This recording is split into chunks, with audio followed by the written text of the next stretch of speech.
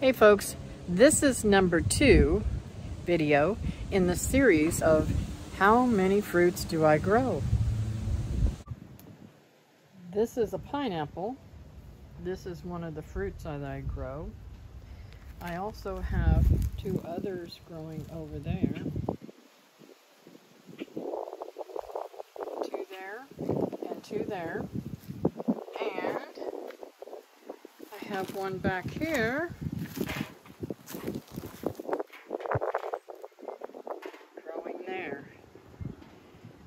I have one over in another bed that I'll show you too.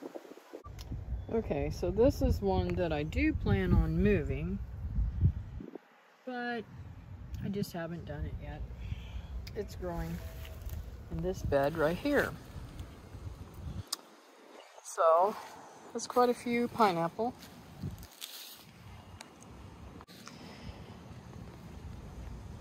Number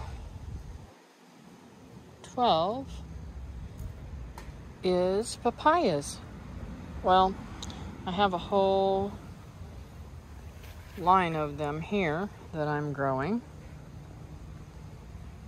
I also have some in the back and over next to the house. Let me show you that. One over here is up next to the house. I have one large one here. They all seem to be females. One large one here. They have fruit on them.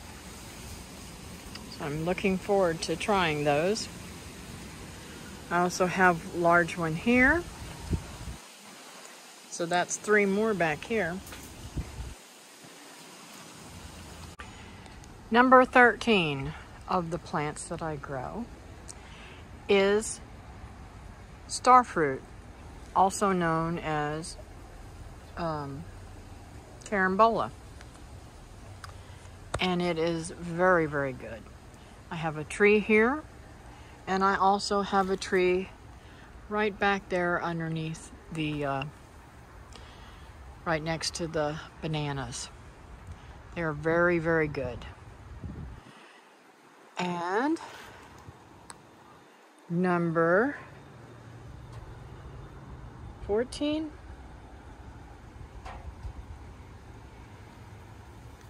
is Barbados cherries. They are very, very delicious too. Trying to see if I see any on here. There are not, but I do see some blooms which are awesome. Looks like some of those blooms are just falling off, so those will be big and green soon. Um, the, uh, what do you call them? Squirrels go after these too, so I have to try and pick them as soon as they're ripe enough, or else I don't get any. So that is number 14 believe. Okay. Number 15 is elderberries. That big bush right there is an elderberry. it is not blooming, which is quite bizarre. But then again, I did cut it back this year so I could get some more starts, not knowing that uh, we have so many in Florida already. There's also one right here. Not doing as well. I'll be cutting it back this really good this year. But at least at least it's there, right? Um so that's number 15. Now this is a pineapple guava, which goes over there. It's not in those numbers because I already have one, even though it's probably a different uh, variety. I know it says loquat down there, but that's a different uh, pot. I repotted it up because it was it was getting pretty yucky.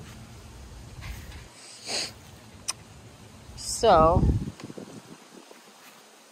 this tree right here, which I am so very excited, has a bud on it. I am, I am just blown away that it, I finally found a bud on it. Yes, a little green bud. I thought it was going to die, but it has fruit that grow on it, and it is a Mexican plum. I can show you what it looks like.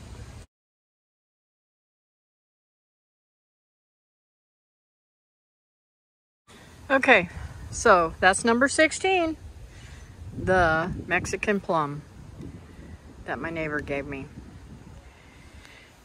Alrighty. Alrighty.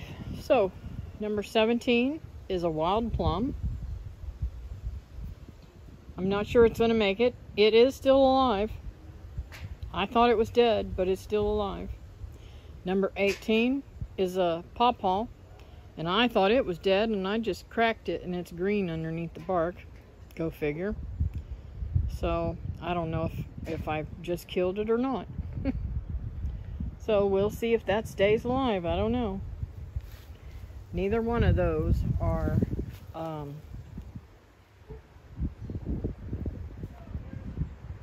um, the in the greatest shape, so I don't know. But that's 17 and 18. This joker here is number 19. That's a beautiful, beautiful uh, apple tree that was given to me by uh, Glenn. And it needs to be moved to the backyard. It's already been knocked over once. So we need to get it in the backyard where it needs to be with the other apple trees or close by so that it doesn't get knocked over again near, near the fence so it'll have something to hold it up while it roots into that pot. So that's 19. I really don't know what kind of apple tree that is. And this beautiful tree that we cut way, way back underneath, I probably should have cut down in the height of it. But I thought if I cut the bottom down, I hate to cut the, the, cut it down in height because that's the tree that the kids love to, to um, climb in. So not only is it supposed to bear fruit, which it doesn't, this is a strawberry guava. It has yet to bear fruit in the last, what, 10 years. I did get a few fruit on it one year, um, but that's that's hasn't fruited since so we shall see. Anyways that's number 20